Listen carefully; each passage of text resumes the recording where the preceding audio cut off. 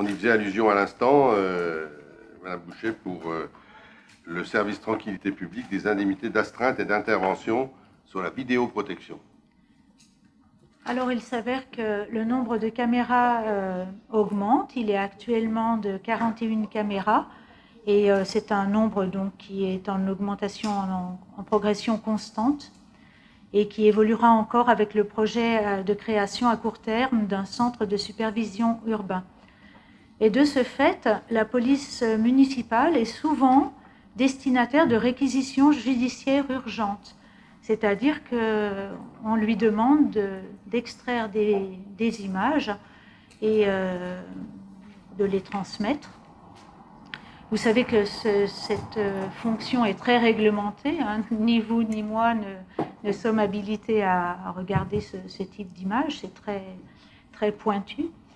Et euh, donc ça se fait exclusivement au local euh, de 5 passage Jean Moulin et selon certaines conditions. Seul un officier de police judiciaire des forces de sécurité de l'État territorialement compétent ou muni d'une commission rogatoire est habilité à se saisir du support comportant des enregistrements vidéo après transmission d'une réquisition judiciaire écrite. Et euh, de ce fait, actuellement,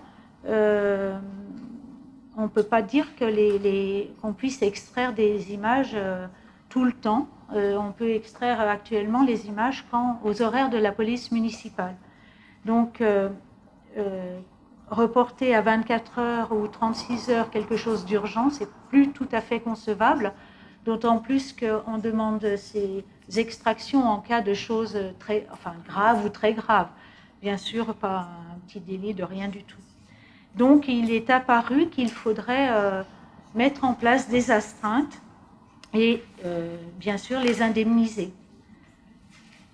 Donc, vous avez vu que l'astreinte euh, prendrait effet le vendredi soir dès la fin de service des agents de la vidéoprotection et se terminerait le vendredi matin suivant. Donc, si jamais la police, les forces de l'ordre demandent une relecture, la personne se déplace pour procéder aux relectures et aux extractions. Après, vous avez euh, le, montant des, indemnités d'astreinte auquel s'ajoute euh, le montant si la personne intervient. Il y aura peut-être des semaines très calmes et des semaines euh, plus chargé en intervention. Et dans le cas d'intervention, il faudra prendre en compte les heures effectuées sur le site et le, déplacement de la personne. Ces montants seront actualisés en fonction des textes qui les régissent, en fonction de l'évolution des textes qui les régissent. Donc, ceci étant exposé, il vous est proposé d'autoriser la mise en place et l'indemnisation d'astreintes au profit des agents exerçant des missions de vidéoprotection selon les modalités qui vous ont été présentées. Euh, ces dispositions prendront effet au 1er septembre 2022 et la dépense en résultant est inscrite au budget de la ville. Merci. On, voilà, on a, pris cette décision. D'abord, euh, notre CSU provisoire fonctionne. On a, il y en aura, j'espère, un, plus performant, mais il fonctionne. Donc euh, les, écrans sont regardés euh, euh, de manière très, très, sur un temps long. Et là, c'est simplement, il se passe une, agression un, samedi à 2 heures du matin. Ben, il faut pouvoir immédiatement ou dans les heures qui suivent à la demande judiciaire, d'ailleurs c'est une demande judiciaire, c'est une demande du procureur, pouvoir extraire les, images. Voilà, c'est ce, qui vous a été présenté par euh, Madame Boucher. Monsieur euh, Oui, moi j'aimerais savoir combien euh, nous avons d'agents qui savent se servir de, ce matériel, déjà, premièrement. Voilà. juste que je comprenne bien, est-ce qu'on a quelqu'un aujourd'hui qui est devant les écrans la enfin, dans une journée complète de travail? Est-ce qu'on a une personne qui est vraiment spécifiquement dédiée à ça ou c'est juste un serveur qui enregistre? Et j'ai une troisième question qui relate un peu de la. Qui ne concerne pas forcément cette délibération, mais j'ai besoin d'un éclaircissement. Peut-être que M. Michela pourra me l'apporter. Il y, a beaucoup de plaintes en ce moment autour du parc euh, euh Montessuie. Euh, et, il y a peu d'interventions. J'aimerais juste savoir quand intervient la PM et quand intervient la, police nationale, quand il y a du trouble à l'ordre public, et jusqu'à quelle heure, en fait, nos agents peuvent intervenir. Je vous remercie. Ben, je vais laisser M. Michela apporter des réponses. Euh, je vais commencer par la fin. Donc sur la réquisition, enfin sur, le, sur les interventions en temps réel, euh, la police c'est H24, 7 sur 7. C'est-à-dire que la police nationale est disponible tout le temps. Donc euh, si les gens font le 17, normalement il y a quelqu'un qui répond et la police est censée intervenir. Il arrive parfois que certains nous disent que la police n'interviendrait pas parce qu'elle est ailleurs déjà, est déjà prise et que les effectifs ne le permettraient pas. Mais ça, c'est, dire, c'est à la police d'expliquer les choses telles qu'elles sont, mais la police nationale est censée intervenir tout le temps. La police municipale, elle, travaille euh, tous les jours, du lundi au samedi inclus, et en soirée, du mercredi au samedi inclus jusqu'à 0h45. Voilà. Donc dimanche, lundi, mardi, il n'y a pas de police municipale en soirée. Ce qui veut dire que la police municipale ne peut pas intervenir euh, à des heures où elle ne travaille pas. Il y a simplement des jours ou des soirées qui sont euh, particulières ce sont les grands événements, évidemment, la fête de la musique, euh, le 13 juillet, etc. etc. Ce, sont des, euh, journées particulières où tous les policiers municipaux sont mobilisés pour, euh, intervenir et être présents ces jours-là. et puis évidemment, il faut tenir compte du fait de, la disponibilité des agents en fonction des congés, etc. Parce qu'il y a aussi, nous, avons aussi le nombre de policiers que nous avons est disponible autant que nécessaire. Pour ce que j'en sais, le parc Montessuie fait l'objet d'une euh, d'une attention particulière et la police y patrouille régulièrement. Donc elle intervient euh, il faut bien comprendre les choses. Hein. La police fait cesser l'infraction. C'est-à-dire que lorsqu'il y a des problèmes, des présences indésirables de la consommation d'alcool dans le parc Montessuie, la police municipale fait euh, cesser l'infraction. C'est son rôle. Voilà. Donc les gens s'en vont. Le problème, c'est que souvent, les gens s'en vont et parfois reviennent. Donc c'est un peu compliqué de, de, mettre fin ou de faire cesser durablement le, problème. Et c'est un peu le même problème un peu partout en ville d'ailleurs. Voilà.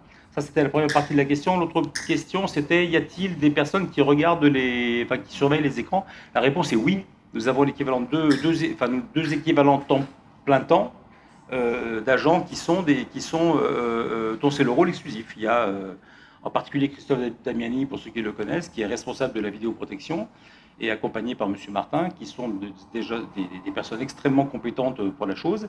Et ça fonctionne très bien, ça fonctionne à tous les niveaux. Hein. Ils accompagnent les agents sur le terrain. Il y a des lieux sensibles dans la ville qui sont sous, euh, sous, sous la lecture des, caméras et qui accompagnent l'intervention des agents, la place Jean-Jacques Rousseau, le parc Montessuie d'ailleurs, qui est aussi équipé de caméras. Euh, il y a plusieurs endroits en ville comme ça. Il y a aussi la verbalisation en ligne. Euh, il y a des endroits où, où c'est voilà, c'est c'est très efficace. Et puis voilà, donc il faudra de toute façon un jour songer effectivement, en même temps qu'on augmente les caméras, il faudra aussi augmenter la présence humaine parce que c'est efficace comme ça, mm. la vidéoprotection. C'est efficace si ça vient en appui des interventions euh, humaines sur le terrain. Voilà pour la suite. Donc on en a 41 caméras. 41 caméras, le nombre est significatif, mais il faut tenir compte du fait que selon la technologie retenue, vous avez des caméras plus ou moins importantes en nombre. Vous avez des caméras dôme, par exemple, avec une seule caméra, vous faites le tour complet d'un coin, alors que dans d'autres endroits, vous avez trois caméras. Donc c'est plutôt le nombre de lieux surveillés, entre guillemets, qui est, intéressant à voir. on pourra vous faire un détail sur les, prochaines, les prochains équipements euh, à venir sur l'année sur 2022-2023. J'ai répondu à tout, euh, M. J'ajouterais en, complément que on est, euh, et c'est pas sur les, informations que vient de donner euh, Michela, c'est on travaille à la demande, enfin le sous-préfet travaille à, la demande du directeur départemental de la sécurité euh, sur euh, l'idée que l'on propose, et ça va faire le lien avec les délibérations suivantes d'ailleurs, l'idée que propose, euh, qu'il propose et que nous on accepte de proposer d'un CSU, c'est d'un centre de surveillance intercommunal c'est-à-dire d'avoir toutes les caméras. Euh, Gaillard a beaucoup de caméras, Villagon commence à en avoir, euh, Vetra en a. Donc euh, sur cette zone-là, ben, d'abord ça nous mettrait plus de monde, donc on serait plus présent. Il s'agit bien sûr de ne pas, nos policiers ne pourront pas intervenir à Gaillard et vice-versa. Par contre, on sait bien que la délinquance, elle ne connaît pas les frontières des, communes et que bien évidemment, elle va plus loin. Et donc, euh, on essaye, euh, moi je suis très partisan, je l'ai proposé à mes collègues maires. Pour l'instant, je n'ai pas de réponse positive sur euh, ce centre, d'autant plus qu'il est important qu'on ait une réponse rapide parce que on, l'intégrerait aux nouveaux locaux de la police municipale.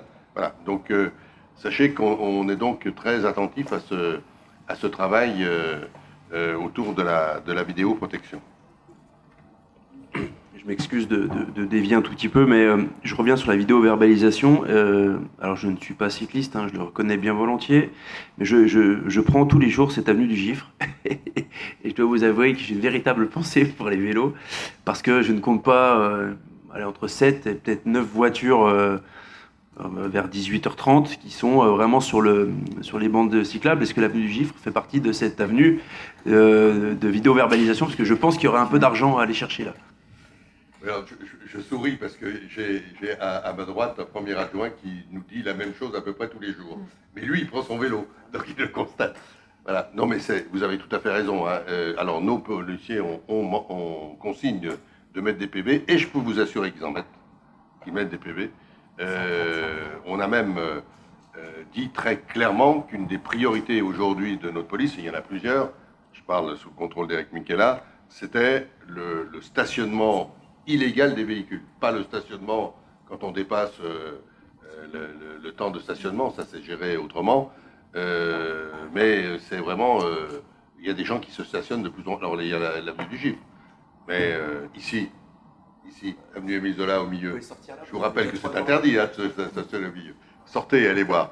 Donc voilà, c'est des choses qui, qui sont anormales. C'est les, les, ce qui fait euh, aujourd'hui, ce qui pose des problèmes au-delà de, la délinquance qui est une réalité, ce sont ces incivilités qui sont faites par euh, des gens comme vous et moi. hein. C'est-à-dire, c'est pas des grands délinquants, hein. Mais euh, ça, casse l'ambiance d'une ville, c'est pénible. Et je pense qu'il n'y a qu'une chose, c'est, en effet, vous avez raison, c'est les PV. Donc, ils, euh, ils le font, ils en mettent euh, des PV, et y compris de manière électronique aujourd'hui. C'est-à-dire que quelquefois, en passant, euh, on passe, ça passe très vite hein, pour mettre un PV. euh. Du coup, ça se voit moins. Mais ça le se voit moins que le petit papier. Et on- parfois, on a l'impression qu'il n'y a pas mais il de y a, verbalisation. mais- mais il y a, en effet. Merci. Pas d'autres euh, commentaires ou interventions sur ce sujet? Je vous propose donc de passer au, au vote sur cette indemnité d'astreinte. Est-ce qu'il y a des votes contre, des abstentions? Merci.